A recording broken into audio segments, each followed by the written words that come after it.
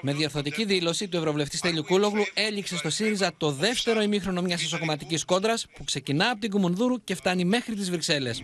Με αφορμή μια ενδεχομένως άστοχη διατύπωσή μου, ξεκαθαρίζω ότι σήμερα περισσότερο από ποτέ αποτελεί αναγκαιότητα να προκύψει από τη λαϊκή ετοιμιγορία μια προοδευτική κυβέρνηση με πρωθυπουργό τον Αλέξη Τσίπρα, που θα αναλάβει το δύσκολο έργο της αποκατάστασης της κοινωνικής συνοχής που έχει διαρρήξει η κυβέρνηση Μητσοτάκη.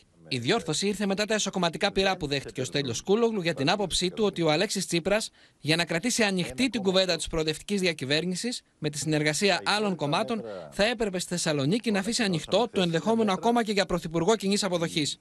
Πέφτει σοβαρότερα πράγματα να κάνω από το να σχολιάζω τα σχόλια του κυρίου Κούλογλου. Η κίνηση αυτή μάλλον ε, δεν μπορώ να κατανοήσω τη σκοπιμότητά της. Ο κ. Κούλογλου πρέπει να σας απαντήσει σε αυτό. Στο μέτωπο εναντίον του Στέλιου Κούλογλου μπήκε και ο επίσης Ευρωβουλευτής Δημήτρης Παπαδημούλης, ο οποίος περίπου ένα χρόνο πριν είχε δεχτεί τα πειρά Κούλογλου για τα ακίνητα που απέκτησε. Επικοινωνιακά λάθος η στιγμή, διότι διευκόλυνε την Νέα Δημοκρατία να αλλάξει την ατζέντα αντί να συζητάμε τις προτάσεις Τσίπρα. Συζητάγαμε την αξιολόγηση του Στέλιου του Κούλογλου. Αλλά και το συμπέρασμα Κούλογλου ότι Μητσοτάκης και Τσίπρας ήρθαν ισοπαλία στη Θεσσαλονίκη δεν έμεινε επίσης αναπάντητο.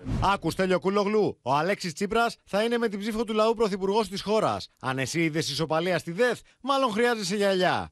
Είμαι εμβολιασμένο. Από τη λογοδιάρεια στο ε, Facebook είμαι εμβολιασμένο. Ο ε, Βολάκης είναι καλός για να κάνει προεκλογική ε, εκστρατεία, αλλά το άλλο κομμάτι. Παραδείγματος χάρη ε, τον κύριο Κιμπουρόπουλο, ε, αν θυμάστε, τον έβαλε πρώτο βουλευτή στους Σταυρούς και με ρεκόρ.